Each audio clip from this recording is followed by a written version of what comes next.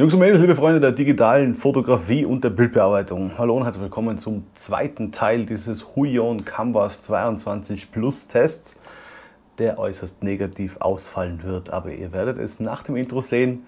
Ich versuche in diesem Video so wenig wie möglich sarkastisches, zynisches oder Schimpfwort-technisches Vokabular zu verwenden. Aber mal schauen, was ich euch alles so hier zu berichten habe.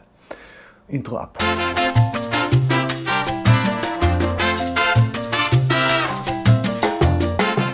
Bevor es ins Eingemachte geht, möchte ich gleich noch erwähnen, dies ist ein kleiner Kameratest. Ich habe jetzt eine neue GoPro Hero 8 und diese Hero-Kamera muss heute den ersten Videotest hier im Studio mit dem neuen Lavarier, Lavier, Lavarier-Mikrofon auf jeden Fall hier äh, ja, bewältigen. Ich hoffe, die Qualität ist in Ordnung.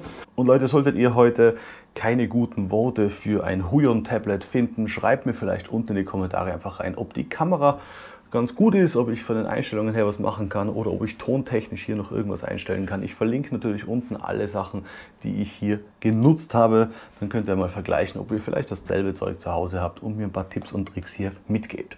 Und nein, ich möchte in Zukunft nicht mit dieser GoPro-Kamera hier in meinem kleinen Studio weiter filmen, sondern es soll heute einfach nur mal beweisen, ob das wirklich eine coole Kamera ist, ob das Licht passt, ob der Ton passt, all diese Sachen. Lass uns zurück zum Huion gehen. Dieses Canvas 22 Plus ist es, glaube ich, wurde mir von der Firma Huion zur Verfügung gestellt mit der Bitte, ich soll einen Test darüber machen und sie schreiben auch in diesen E-Mails, die man da immer bekommt, ähm, auch rein, es ist okay, wenn ich meine eigene Meinung hier preisgebe und das möchte ich heute auch machen. Mir ist im ersten Test vor ein paar Wochen schon aufgefallen, dass ich keine belegbaren Tasten habe, was ich furchtbar ätzend finde. Denn genau das ist ja das, was ich bei anderen Tablets so liebe. Ich habe meistens links oder vielleicht sogar auch rechts und links belegbare Tasten mit Scrollrädern und ich kann mir meine ganzen Shortcuts, die ich sonst über die Tastatur erledigen muss, eben hier auf mein Tablet legen. Im Idealfall kann ich meine ganze Bildbearbeitung ohne Tastatur hier vollenden, bis auf Speichern. Das geht hier nicht, weil es das einfach nicht gibt. Der Monitor ist ziemlich groß, wunderbar, dafür habt ihr es wunderschön hinbekommen. Aber ich habe einen fetten Rand außenrum und ich bin jetzt kein Techniker. Aber unter Umständen könnte es, wie bei anderen vergleichbaren Marken, ähm, euren Technikern hier von Huion möglich sein, auch irgendwann mal hier Tasten einzubauen. Das wäre doch ganz cool oder zumindest zeitliche. Ach, es gibt so viele Möglichkeiten. Und dann ging ich nach dem letzten Video auf die Reise und habe beschlossen, ich werde jetzt nur mit diesem Canvas hier arbeiten und ich habe sensationelle Probleme entdeckt. Ich muss dazu sagen, ich arbeite mit einem Apple-System, das heißt, ich habe hier hinten meinen Apple-Rechner und ich habe das Teil nie auf Windows getestet, weil ich auch gar keinen Windows-Rechner habe. Es könnte sein, dass es bei Windows ganz andere Probleme gibt oder vielleicht Lösungen. In meinem Fall ist es so, sobald mein MacBook in den Ruhezustand geht, ist der Stift nicht mehr aktiv. Dann kann ich mit dem Stift hier genau gar nichts mehr machen. Ich muss, nachdem der Ruhemodus aktiviert worden ist, meinen kompletten Rechner neu starten, damit auch hier das Canvas wieder seinen Stift erkennt. Des Weiteren habe ich vor einem Jahr ungefähr das Canvas 16 Pro oder 16 Plus, nein, das war diesmal das 16 Plus, bekommen und da war genau der exakte gleiche Stift dabei.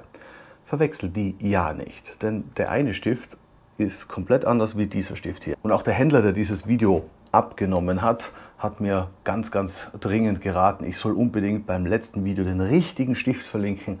Mit dem alten könnte man hier sogar irgendwelche technischen Probleme bekommen und das Huion funktioniert dann vielleicht nicht mehr so, wie es funktionieren soll.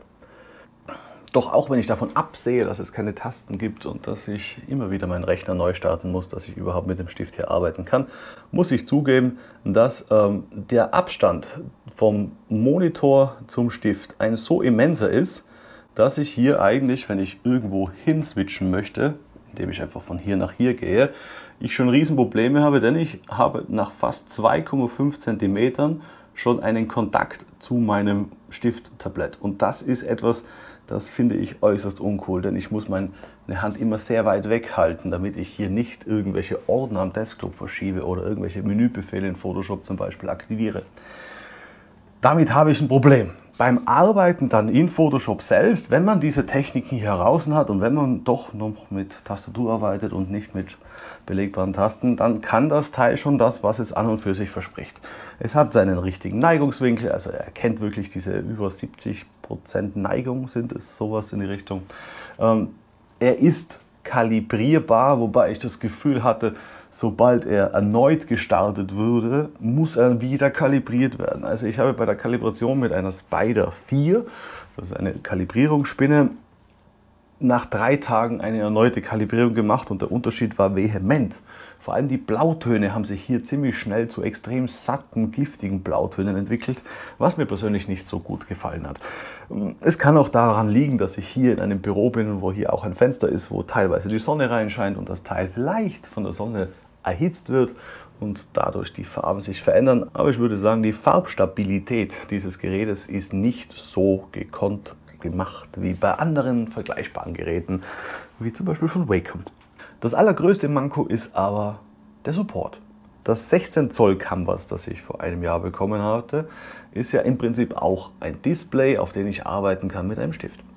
Und das hatte die Hintergrundbeleuchtung nach wenigen Monaten verloren. Die ging einfach irgendwo wahrscheinlich wieder Richtung China.